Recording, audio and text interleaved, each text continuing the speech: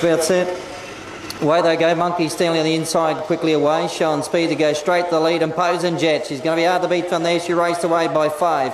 Into second place to get in the back straight. There was Pure Crystal. Then followed by going forward, there was Wise Choice, well made rather.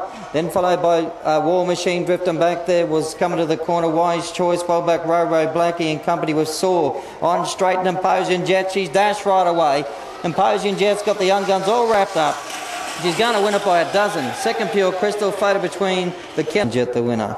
Five second Pure Crystal, Michael Hickmont. And seven well made third, fourth in number